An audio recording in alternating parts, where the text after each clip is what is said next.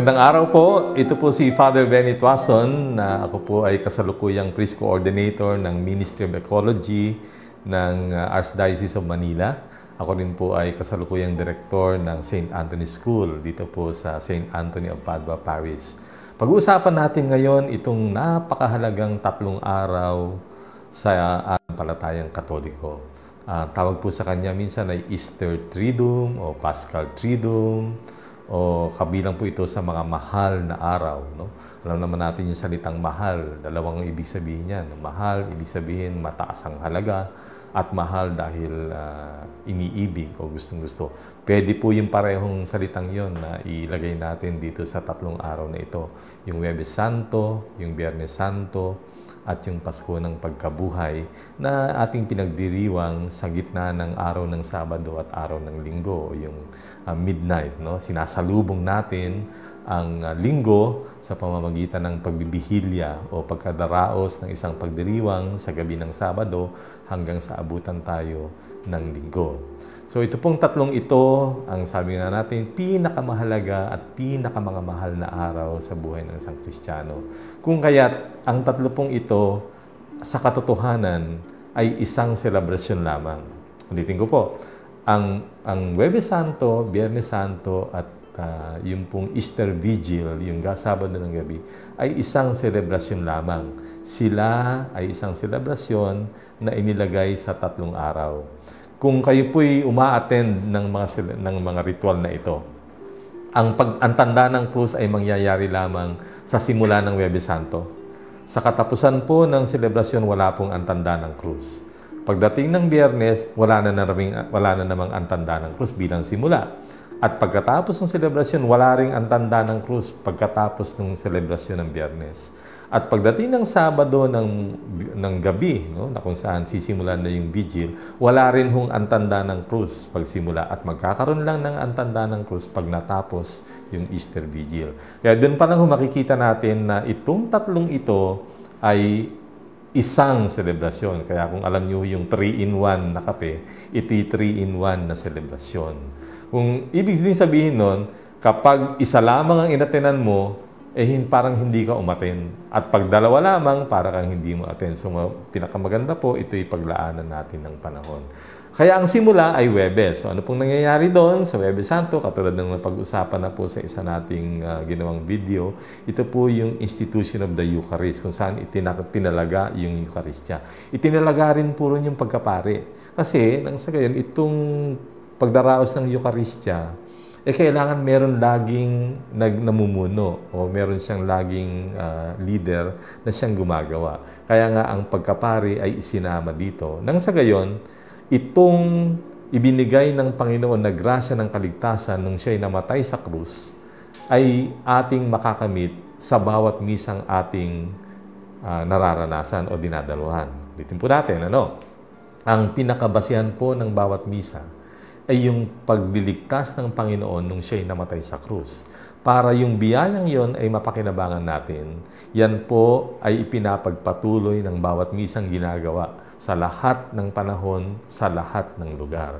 Kaya pag tayo dumadalo ng misa, parang imagine niyo na parang nandun kayo sa Golgota, sa Kalbaryo, na kung saan tinatanggap natin ang biyaya ng pagkamatay ng ating Panginoong Yesus. So yun po yung Eucharistia at yun yung uh, pagtatalaga dun sa pagpapari. Kaya dun sa selebrasyon na yon pagkatapos, eh, merong reposition ng Blessed Sacrament. No? Kung saan yung ostia na kinonsecrate ay ilalabas dun sa simbahan o ililipat ng lalagyan para sambahin. So at that time, ang, sin ang, ang sinasamba po ng ating uh, mananampalataya ay walang iba kundi yung uh, Blessed Sacrament na na-repose. So kumbaga, siya ang bida sa araw na yon. Yun ang pinakadiwa at pinakaugat ng selebrasyon. Ngayon, ito, dinuduktong naman natin ito sa susunod na araw. Ito naman ay yung pagdiriwang ng uh, passion o kaya yung paghihirap, pagkamatay ng Panginoon. At ang pinakamahalagang simbolo dyan ay walang iba kundi ang krus. Kaya po meron dong uh, pagtatanghal ng krus. Itatanghal ng pare ang krus na siyang kinamatayan ng Panginoon at siyang simbolo ng ating pananampalatayang Kristiyano. Namatay siya doon, ipinako ang Panginoon doon, namatay, doon sapagkat doon niya ipinadama sa atin yung kanyang pag-ibig. Nasukdulang kamatayan at pinakamasakit, pinakamapait, pinakanakahihiyang paraan ng kamatayan, tinanggap niya. Nang sa gayon, mabigyan, mabigyan tayo ng uh, mensahe na lahat ay gagawin ng Panginoon para sa ating kaligtasan. Alam nyo, isang uh, mahalagang trivia lang. Uh, nung panahon ng Panginoon sa Kristo, sinabi ng uh, pamahalaang Romano na walang Romano kahit gaano kasama ang mamamatay sa krus. Kasi ho, yun ho ang pinaka nakahihiya, pinaka mababang paraan at pinaka sabi ko masakit na paraan para ang isang tao ay mamatay. Pero, ang ating Panginoon niyakap yung krus na yun.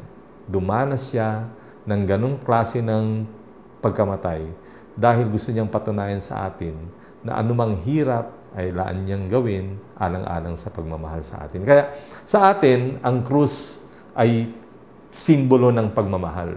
Maaring sa mga matatalino, ito'y isang uh, kaano kahunghangan. No?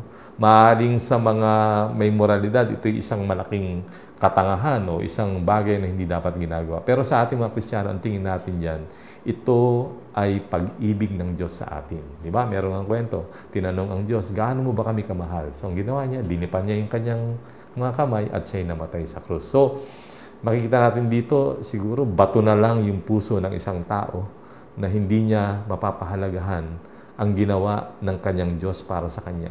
Walang iba kundi ang mamatay sa krus. Kaya sa liturya, ang gagawin natin, hinahalikan natin yung krus.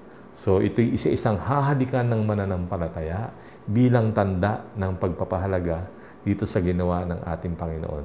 At sa araw na yon, walang ibang sasambahin, walang ibang bibigyan ng pag-alang, kundi ang krus. Ilalagay yon sa isang parte ng simbahan at kung sino mang makakita noon ay maninikluhod.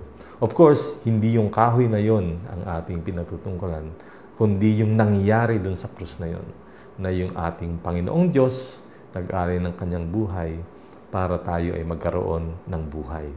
Siya ay namatay para sa ating muling pagkabuhay. So yun po kaya siya ay namatay para sa atin. So magtatapos po yun, da, tahimik yung mga tao lalabas, tahimik din yung pari lalabas at mag-aantay tayo ng panahon ng Sabado ng gabi na kung saan naman ating ida, uh, i, i, daranasin o ipagdiriwang yung Easter Vigil. Ang vigil, ibig sabihin po noon ay pag-aantabay. Sasalubungin natin ang pagkabuhay ng Panginoon na namatay noon sa krus. So merong halong ano do, may halong uh, pagdadalamhati pero may halong pananabik. Bakit? Kasi nangako ang Diyos, nangako ang Panginoon sa Kristo na siya ay mabubuhay na maguli. So aantayin natin yung kanyang pagkabuhay. At paano gagawin dito? So marami pong mga ritual. Maraming ritual at maraming mga simbolo. So diyan po ang isang mahalagang ritual o isang mahalagang simbolo ay yung apoy. Yung apoy ay uh, liwanag at uh, ang liwanag ay simbolo ng Panginoon. Dahil ang dilim ay simbolo ng kasalanan, simbolo ng kamatayan, simbolo ng kawalan. Subalit ang liwanag ang pupukaw sa kadiliman na siyang simbolo naman ng kabutihan, uh, simbolo ng uh, kabanalan at simbolo ng ating Panginoon sa Kristo. Kaya sa bawat mga ano natin, di ba, ritual, laging may kandila. No? The candle is always the presence, or lighted candle is always the presence of God. At dun sa ritual na yon, meron tayong mga kandila at yon ay sisindihan mula dun sa isang kandila na siyang kakatawan sa Panginoon. Sa gitna din ng uh, misang yon ay meron ding pagbibindisyon naman ng tubig. Ito yung tubig ay simbolo rin ng ating Panginoon sa Kristo na siya ay maglilinis ng ating mga kasalanan, no, na siya ngayon, ito yung gagamitin natin sa binyag, no, ito yung gagamitin natin pagbibindisyon, ito yung muling uh, sim, pagpapakita ng simbolo ng presensya ng Panginoon, na siya ay nandyan at naglilinis. No? Ang tubig, maraming ibig sabihin sa atin. Meron siyang negative na meaning dahil mga baha, uh, pagkalunod, anumang mga sakuna. Pero ang tubig ay sa atin ay simbolo ng buhay. No? Uh, kaya nga sabi ng Panginoon, I am the living water. Di ba?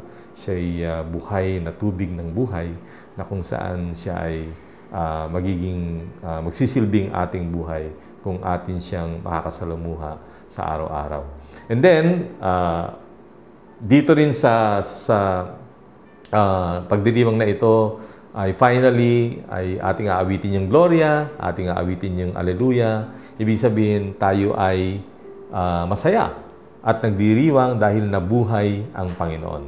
Ngayon, uh, ito po, ito pong pagkabuhay ang pinakasukdulan ng ating pananampalataya.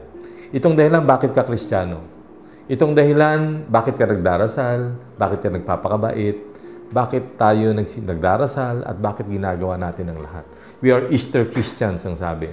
No, tayo mga Kristiyano ng nabuhay na Panginoon. Si San Pablo ang nagsabi, kung hindi tayo o hindi na buhay ang Panginoon, eh wala, walang kapararakan lahat ng ating ginagawa. It's because the Lord is risen. That's why we are part of this faith. So yan po ang ibig sabihin ng Pasko ng Pagbubuhay. Kaya higit po yan kaysa sa Pasko. Kaya lang sa tradisyon natin, parang mas pinagdiriwang natin yung Pasko ng Pagsilang. Although hindi siya hiwalay sa Pasko ng Pagkabuhay, magkaugnay sila dahil itong isinilang ang siyang mamamatay at muling mabubuhay. Pero in terms of ano talaga, ranking, ito talaga yung pinakadiwa ng ating pananampalataya.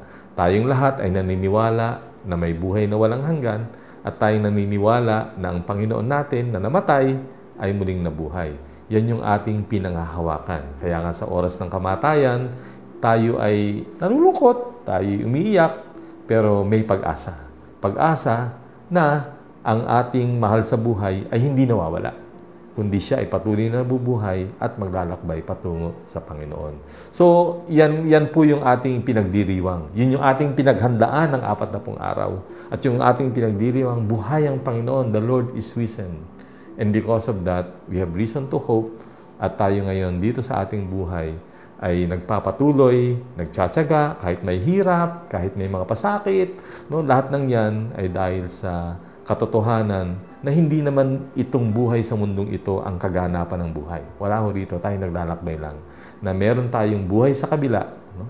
kabilang buhay na ating pupuntahan, na ating tunay na kahihinatnan.